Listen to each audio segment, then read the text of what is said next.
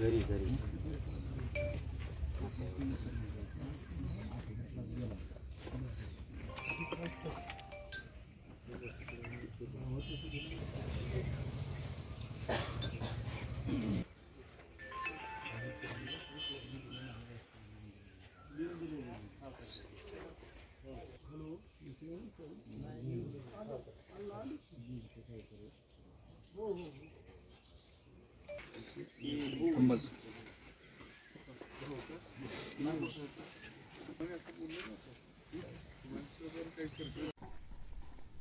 बीडचे बाळू लक्ष्मण जगवाल नाव करून असे सावकार आहेत.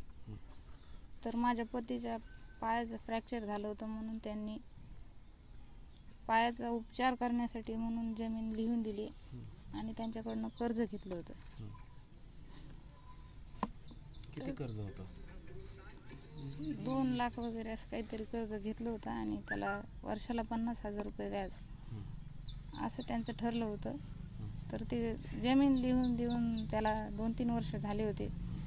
पण पाय मोडलेला असल्यामुळे त्यांना काही काम धंदा करता आला नाही आणि कर्जही फेडता आलं नाही. म्हणून ते कर्ज वाढत वाढत गेलं आणि पैसे जास्त झाल्यामुळे ते लोक आता त्यांना परेशान करत होते. काय म्हणायचे? कधी फोनवरती वगैरे ऐकले सावकार काही बोलत होते धमकी वगैरे देत होते? ते बोललेलं मी कधी ऐकलं नाही पण टेन्शनमध्ये असायचे फोनवर बोलल्यानंतर.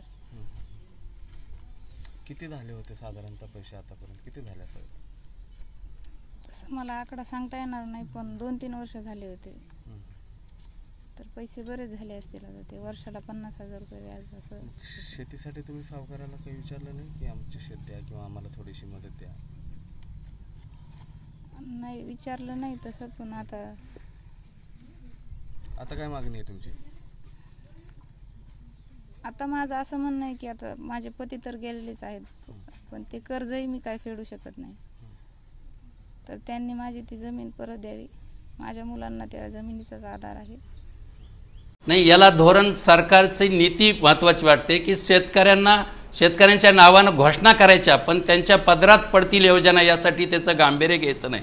जिल्हा प्रशासनाची जबाबदारी आहे. बँकेला प्र आदेश द्यायला पाहिजेत की शेतकरी जास्त वेळ दारात ताटकळत उभा राहायला नाही पाहिजे आणि शेतकरी आला की त्याला प्राधान्यानं त्याचे कर्जाचे प्रकरणं निकाली काढायला पाहिजे. तरच कुठंतरी हे थांबेल. नेमकी कशी पिळवणूक होते? ज्यावेळेस शेतकरी पीक कर्ज मागायसाठी जातो त्यावेळेस बँकेत कशी पिळवणूक केली जाते? नाही बँकेमध्ये मुळात काय की राष्ट्रीयकृत बँका ह्या शेतकऱ्याला दुश्मनच समजतात. त्या दारात उभा राहू देत नाहीत.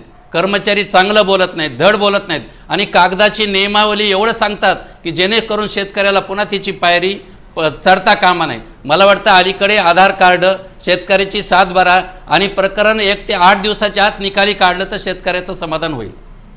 च जिल्ह्यामध्ये हे शेतकरी आत्महत्याची संख्या जो आहे म्हणजे जानेवारी फेब्रुवारी मार्च एप्रिल चार महिन्याची मिळून शहाऐंशी आहे.